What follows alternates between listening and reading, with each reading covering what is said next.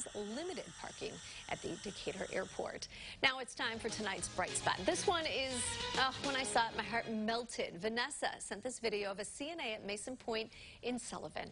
She says, this is Avery, and the video shows the love and caring they have for their residents during these unprecedented times. Vanessa says Avery gives it her all to make her residents feel loved. You could see her right there. Send us your pictures and videos. What's going to melt our hearts? What's melting yours? Share it with us, please. We want to see it for our bright spot. We're going to have a look at your top stories in Central Illinois next.